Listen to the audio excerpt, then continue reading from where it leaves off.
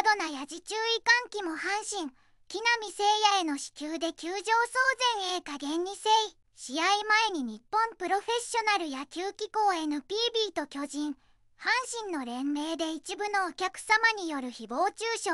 過度なやじ替え歌等で相手を侮辱するなど感染マナーに反する迷惑行為が散見されておりますご観戦にあたりこのような行為を絶対におやめくださいと大型ビジョンと場内アナ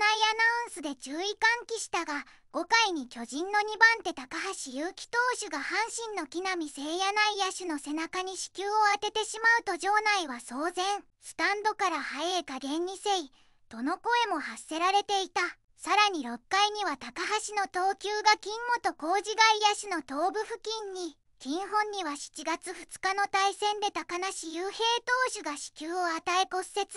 離脱の原因となっていたこともあり再度場内は騒然となった。今日もライトスタンドのジャイアンツ応援団は威勢よく応援してるけどストレスがたまる試合やろうな。ジャイアンツにはかなり前にインドを渡したがエーストボー投手を立てて必勝体制で臨んだだろうがこれほど一方的にやられるときついだろうタイガースとしてはノーコンピッチャーからの余計なデッドボールだけが怖い木浪の背中支給、金本の顔面付近の高橋のピッチングならブッイングされても仕方なくないですか？これはどこのチームファンでも起きるはず。ただ阪神ファンは日本一ファン数多いからどうしても歓声がでかくなる。ただそれだけです。良いプレーには称えるし、悪いプレーにはブーイング出るのがスポーツ観戦の醍醐味でもある。木浪選手への支給もそうだったけど、金本選手へのインコース高めの投球も相当危なかったよな。指に引っかかってコースずれることもあるかもわからんけども、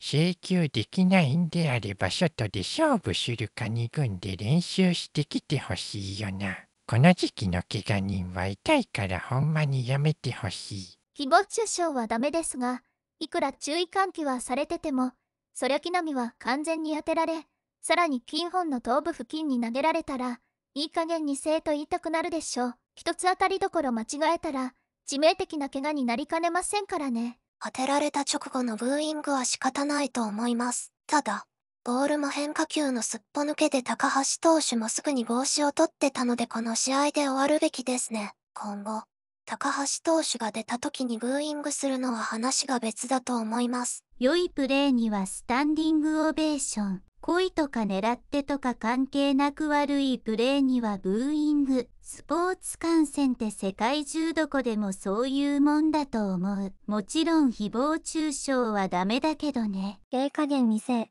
の声はどの程度なものか。記者さんはそれに対してどう考えるのか。それを教えてほしい。少々、挑発的な物言いになるが、考えがない媒体に価値はないのでは。収益構造や企業体質もあるんやろうけど、そういうのを読みたいなと。いつもやかましいけどもさすがにね。今年の阪神は、他チームだが私自身好きやったベテラン選手が絶好調で開幕迎えた最中に子宮で骨折して、結局それがきっかけでそのシーズン引退した時はめっちゃショックやったし、今でもね。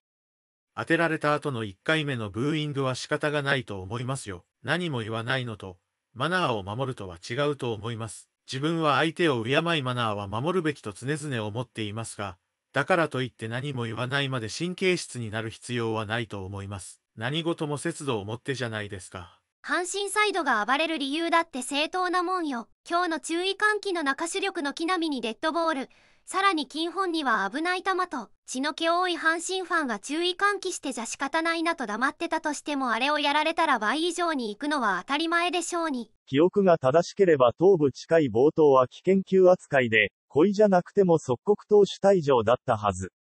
またジャンパイアが出没してるんですね。まあ変えたところで試合結果は変わりませんが、